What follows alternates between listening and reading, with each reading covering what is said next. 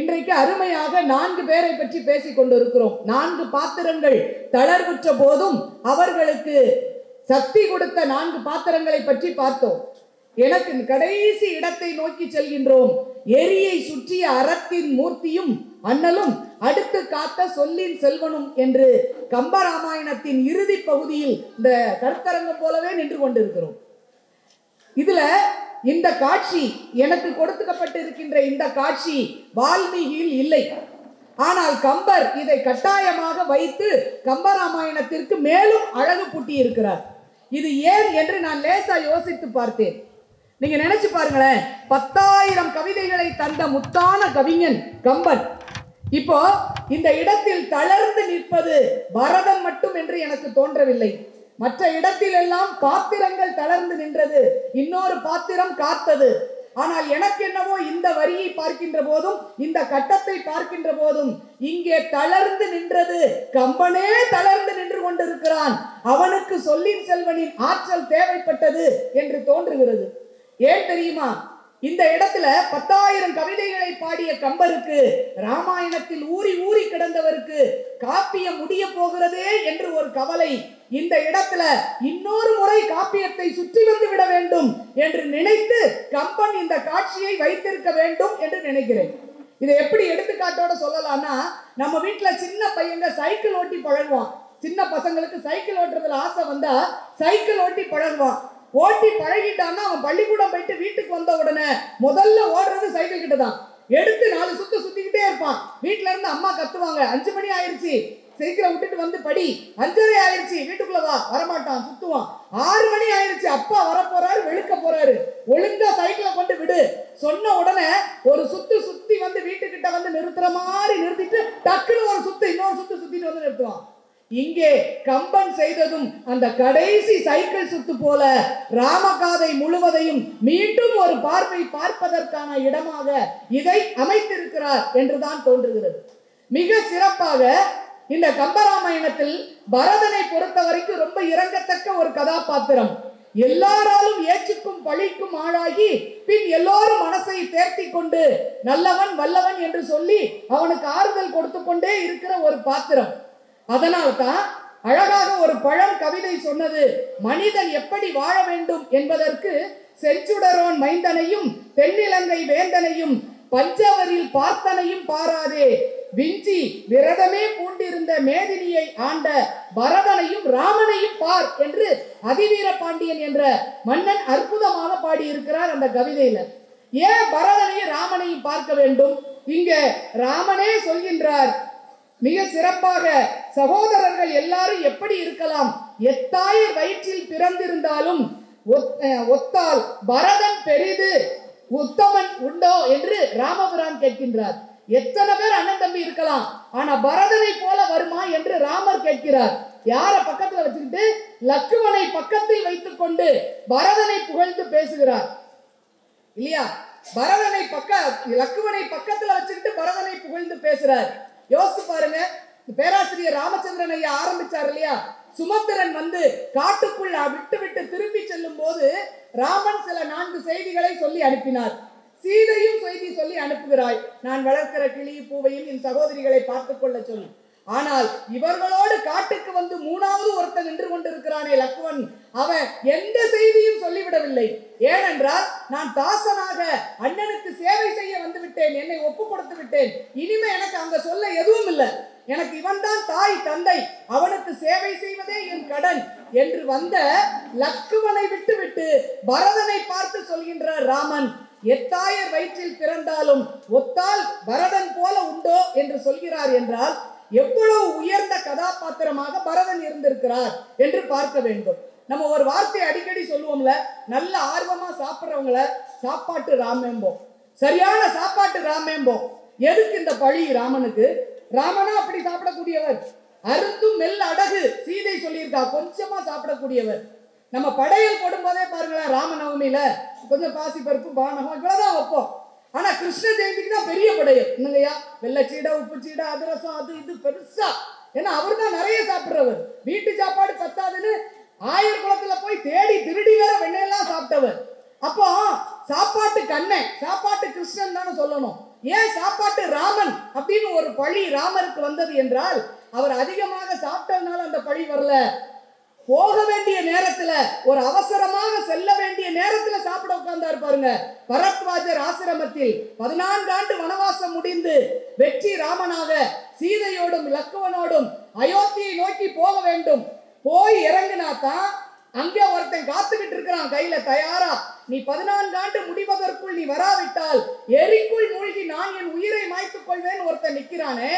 அந்த நேரத்துல அதை விட்டு விட்டு சாப்பிட உட்கார்ந்தானே அதனால தான் அவனை சாப்பாட்டு ராமன் என்று சொல்கின்றோம்.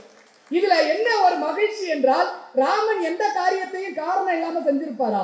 யோசிச்சு பாருங்க ஏன் அப்படி செய்தார் என்றால் காலம் முழுவதும் பழியை சுமந்த பரதனுக்கு அவன் எப்படிப்பட்ட உத்தமன் என்று இந்த உலகம் உணர வேண்டும் என்பதற்காக தான் தாமதித்தால் அவன் எந்த எல்லைக்கு போவான் என்பதை உலகத்துக்கு காட்டுவதற்காக ராமபுரான் தாமதித்திருக்கிறார். இங்க பரதனுடைய நிலைமை நினைச்சு பாருங்க. சுமத்திரை லக்குவனுக்கு தான் ஆணையிட்டாய். மண்ணும் நகருக்கே அவன் வந்திடின் வா. இன்றே முன்ன முடி. அவன் வராவிட்டால் முன்ன முடி என்ற கட்டளை கொடுக்கப்பட்டது லக்குவனுக்கு. ஆனால் அதை செய்து காட்டுவதற்காக தயாரானவன் பரதன். அப்படி பார்க்கின்ற போது மிக உத்தமனாக பரதன் இருந்திருக்கின்ற அந்த காலகட்டத்தில் அவன் தளர்ச்சியோடு நெருப்பின் அருகில் வந்து தளர்ந்து நிற்கிறான். இருக்கட்டும். தடுத்து காத்த சொல்லின் செல்வன் பறந்து வரார் அங்கிருந்து. ரொம்ப சிறப்பு. எப்படி இருக்க வேண்டும் என்று. எந்த வேகத்துல அனுமன் வந்தாராம் தந்தையின் வேகமும் ராமனின் சுடுசரத்தின் வேகமும் மனோவேகமும் பின் என்னும்படி விரைந்து வந்தாராம் அவனோட தந்தை வாயு பகவானுடைய வேகமும் அதை விட நம்முடைய மனசு போற வேகத்தையும் ராமனுடைய சுடுசரம் அம்பு செல்கின்ற வேகத்தையும் விட விரைந்து வருகிறார் எதற்கு இங்க ராமன் சொல்லிட்டாரு சகோதரன் பெருசா சாப்பாடு முக்கியமா சாப்பாடு முக்கியம் உட்கார்ந்துருக்காரு ஆனால் அவனுக்கு செய்தி சொல் காப்பாத்து என்று சொன்னதனால் வேகமா வராரு அனுமன் பயங்கர வேகம் வர்ற வழியில கீழே பார்க்காரு சிரிங்கி பேரும் சடார்னு லேண்டிங் ஆனாரு. குகனை பார்த்து சொல்றாரு. ராமன் வந்துட்டான். அடுத்து கிளம்பு. நேரம் அடுத்த வேலையை பார்க்க ஓடுறாரு. எப்படின்னு யோசிச்சு பாருங்களேன். அவசரமா ஒரு வேகமா ரெண்டு வேலை பார்க்க வேண்டிய நேரத்துல நிச்சயமா நம்ம ஏதாவது ஒண்ண கோட்டை விடுவோம். வீட்லயே நடக்கும்ல. காலங்காலத்தில் அவசரமா ஆபீஸ் கிளம்புவார் வீட்டுக்காரர். எப்பவுமே கோட்டை விடுறது உண்டு. அவசரமா கிளம்பும் போது பாருங்களேன் வண்டி சாவி எடுத்துட்டு போயிடுவாங்க இல்லாட்டா ஹெல்மெட்டை தூக்கிட்டு கீழே போயிட்டு சாவி விட்டு போயிடுவாங்க. ரெண்டு வேலையில ஒண்ண விட்டுறது. அப்புறம் மேல இருந்து நமக்கு எரியணும் சாவியை. இல்லையா? ரெண்டுல ஒண்ணுதான் வேலை நடக்கும். ஆனால் இங்கே அனுமன் அந்த வேகத்துல போகும்போது கூட குகனிடம் செய்தி சொல்லிவிட்டு போகிறான். அதனால தான் பட்டாபிஷேகத்தில் குகப்பெருமாள் இருக்கிறத நம்ம பார்க்கிறோம். யார் சொன்னா? அனுமன் சொல்லி இருக்கிறார் இப்படி வேகமாக போன சொல்லின் செல்வன் அவருக்கு இந்த செய் இந்த நிகழ்வு என்பது இரண்டாவது முறை இது. ஏற்கனவே தற்கொலைக்கு முயன்ற சீதையிடம் போய் முதல்ல சொன்னார் அண்டர் நாயகன் அருள் தூதன் நான் என்று எந்த வார்த்தை அவளுக்கு அமுதமாக உயிரை கொடுக்குமோ அதை சொல்லி காத்தவர் இங்கே பரதன்ட்ட வரும்போதும் அதே நிலைமை. முன்ன பின்ன பார்த்தது கிடையாது. வானர உருவம். ஆனால் மனிதனைப் போல பேசுகின்ற தன்மை. எப்படி நம்பிக்கையை ஊட்டி அவனை காப்பாற்றுவது? இந்த செய்தி சொல்வது என்பது காலத்துக்கு காலம் மாறுபடும். இடத்துக்கு இடம் மாறுபடும். கொத்தமங்கலம் சுப்பு ஒரு அருமையாக ஒரு பாடல் எழுதியிருப்பார். அதுல இரண்டாம் உலக போர் காலத்துல ஒரு தாய் சொல்றா என் மகன் ராணுவத்துல இருக்கான். வீட்டுல மருமக இருக்கா? போர் நடந்து கொண்டு இருக்கிறது இந்த சூழல்ல தந்தி தாவாக்காரன் வந்தா தவி தவிக்கிறா. தாலி சிரட்ட கையெடுத்து கண்ணில் ஒத்திக்கிறா. மருமகப்படுற பாடு. தந்திக்காரனோ போஸ்ட் ஆபீஸ் போஸ்ட்மேனோ வந்தா நமக்கு ஏதாவது லெட்டர் வந்திருக்கான்னு தானே கேட்போம். ஆனா அவன் வந்துடக்கூடாது பக்கத்துல வந்துடக்கூடாது என்ன போர்க்களத்திலிருந்து செய்தி வந்தா என்ன வரும் என்று தெரியும். அதனால் அந்த செய்தி வந்துவிடக் கூடாது. அவன் நம்ம வீட்டை விட்டு கடந்து போற வரைக்கும் அந்த பெண் தவித்து போய் தாலியை கையில பிடிச்சிட்டு துடிப்பாளாம். அப்படி என் மருமகள் இருக்கிறாள் என்று அவள் இருப்பதாக கொத்தமங்கலம் சுப்பு எழுதினார். அப்போ செய்தி சொல்றது ஒரு வகை என்றால் செய்தி வராம போறதும் ஒரு தகவல் தொடர்பு தான் அந்த மாதிரி ஒரு சூழல். அதில் அனுமன் இங்கே வருகிறார்.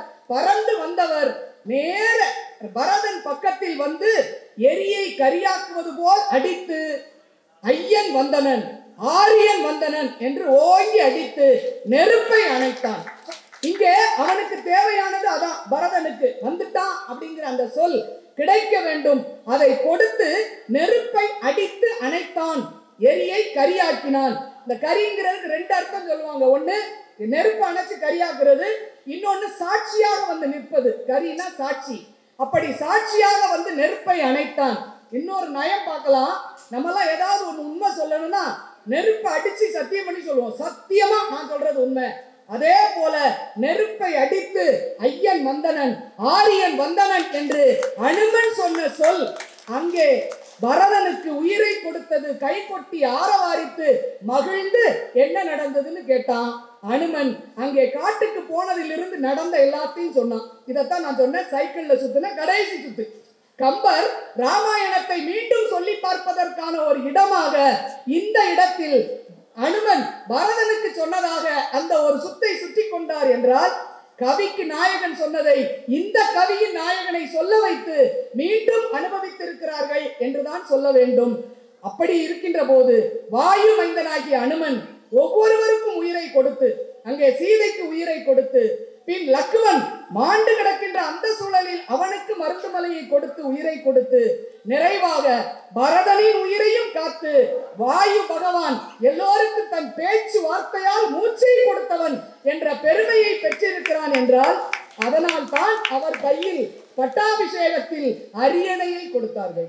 அனுமன் கையில் அரியணை ஏனென்றால் அவர் இல்லாவிட்டால் இந்த அரியணை அர்த்தமற்று போயிருக்கும் என்பதற்காகத்தான் அனுமன் கையில் அரியணையை கொடுத்தார்கள் என்று பார்க்கிறோம். எனவே பெரியோர்களே இன்றைய சூழலில் நம்முடைய குழந்தைகள் சின்ன விஷயத்திற்கு கூட தற்கொலை முடிவை எடுக்கிறார்கள். அப்படி எடுக்கின்ற நேரத்திலும் யாரோ ஒருவர் பேசுவதை ரெண்டு நிமிஷம் காது கொடுத்து கேட்டால் போதும். அதைத்தான் சொல்றாரு. அனுமன் சொன்னதை கேட்டதை போல இக்கட்டில் இருப்பவர்கள் இரண்டு நிமிடங்கள் அந்த வார்த்தைகளை கேட்டால் போதும். வருவது வார்த்தை அல்ல வாழ்க்கை என்பதை புரிந்து கொள்ளலாம். ஸ்ரீமதிகளின் எண்ணிக்கை குறையும். அதற்காக கம்பன் கழகம் போன்ற இந்த அமைப்புகள் இப்படி அற்புதமான தலைப்புகளை எடுத்து கொடுத்திருக்கிறார்கள். இந்த சபையில் பேசுவதற்கு வாய்ப்பை அளித்த கேட்டு ரசித்த அத்துணை பெருமக்களுக்கும் மீண்டும் ஒருமுறை நன்றி கூறி விடைபெறுகிறேன். நன்றி